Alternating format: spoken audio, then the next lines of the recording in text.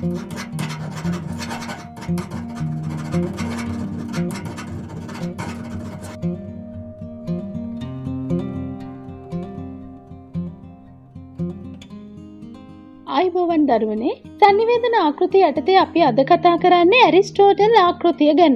ඔබ දන්නවා ඇරිස්ටෝටල් පනිවරයක් කියන්නේ ග්‍රීසියේ විසූ ප්‍රකට දර්ශනිකයෙක් කියලා. කතන සන්නිවේදන තත්ත්වයන් පිළිබඳව අවධානය යොමු කරමින් ඔහු විසින් රචනා කරන ලද වාක් අලංකරන ශාස්ත්‍රයට අදාළ රිටොරික් නම් ග්‍රන්ථයේ සන්නිවේදනය සම්බන්ධ කරුණු සඳහන් වෙනවා. මේ මොහොතේ ඔබට තිරේ දිස්වන ඇරිස්ටෝටල් විසින් ඉදිරිපත් කර ඇති මෙම ආකෘතිය සන්නිවේදනය පිළිබඳ පැරණිතම ආකෘතිය කෘතිය ලෙස සැලකෙන අතර ප්‍රධාන වශයෙන් සන්නිවේදන ක්‍රියාවලිය සඳහා අත්‍යවශ්‍ය මූලිකාංග පහක් පිළිබඳව තමයි එමගින් පැහැදිලි කරන්නේ. කතිකයා යන්නේ අදහස් කරන්නේ සංදේශ ඉදිරිපත් කරන කතකයා. මෙහිදී කතකයා විසින් ඉලක්ක ගත ග්‍රාහක කණ්ඩායමට හා අවස්ථාවට ගැලපෙන ලෙස සිය කතාව සැලසුම් කරගත යුතුයි. එමගින් ශ්‍රාවක පිරිස තුළ යම් බලපෑමක් හෝ පෙළඹවීමක් ඇති කිරීමට ඔහුට හැකි විය යුතුයි. කතාව යනු කතිකයා ඉදිරිපත් කරන තොරතුර. එය ශ්‍රාවකයා පොළඹවන සුළු එකක් විය යුතුයි. මෙම ආකෘතිය ඉදිරිපත් වනේ දියුණු සන්නිවේදන තාක්ෂණයක් නොතිබූ යුගයක බව ඔබ දන්නවා. ඒ අනුව එකල කණ්ඩායම් වශයෙන් සන්නිවේදනය කිරීමේදී භාවිතා වූයේ කතා හා දේශන. ශ්‍රාවකයා කතාව හා දේශනය අසා සිටින්නන් පිළිබඳව මින් අදහස් වෙනවා. මෙහිදී ශ්‍රාවකයා යනු අක්‍රිය සවන් දෙන්නෙක් පමණයි.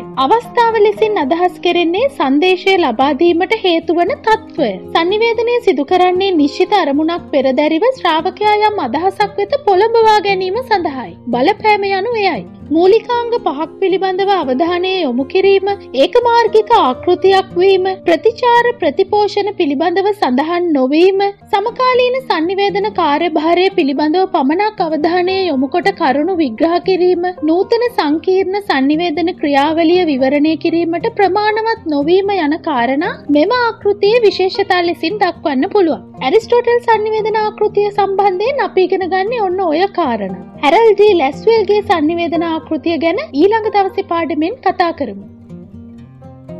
ඉතින් ඔළුවට බරක් නොවේ මීඩිය අයිගෙන ගන්න අපේ මීඩියා කෙටිසටහන් පාඩම්මාලාවත් එක්ක දිගටම එකතු වෙන්න. අපේ YouTube චැනල් එක සබස්ක්‍රයිබ් කරලා ලයික් කරන ගමන් මේ පාඩම්මාලාව ගැන ඔබේ අදහස් කමෙන්ට් කරන්න අමතක කරන්න එපා අලුත් පාඩමක් අරගෙන ආයමත් එන්නම්.